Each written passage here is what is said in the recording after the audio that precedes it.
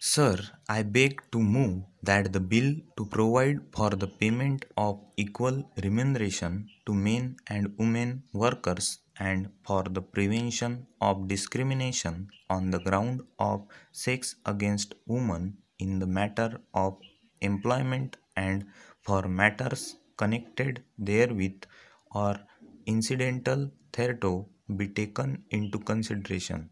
A significant measure taken by government in recent months has been the promulgation of the Equal Remuneration Ordinance providing for the payment of equal remuneration to men and women workers and for the prevention of discrimination against women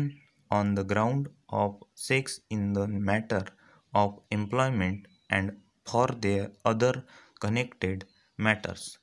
This measure is significant not only because it coincides with the International Women's Year and brings us fully in line with accepted international standards but also because it brings immediate relief to millions of our women fold employed or seeking employment.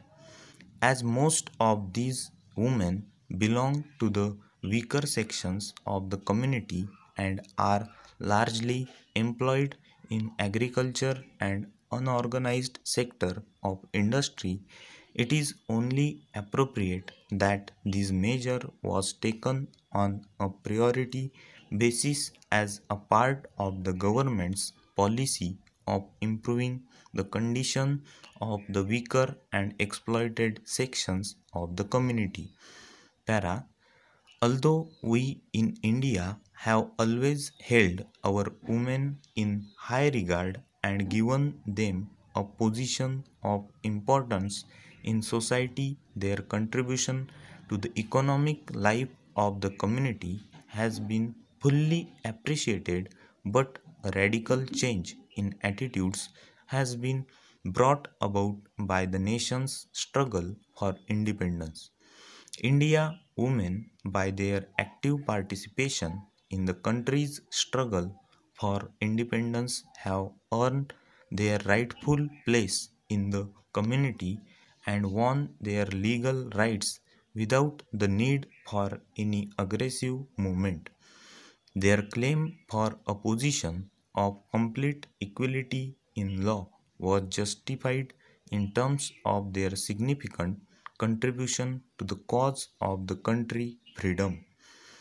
It was fully recognized by the founding fathers of the Indian Republic. The Indian Constitution provides the right of equal opportunity for employed men and women without distinction. Article 15 of the Constitution prohibits any discrimination on grounds of sex and Article 39 or our Constitution of India envisages that the state shall direct its polity amongst other things towards securing that there is equal pay for equal work for both men and women.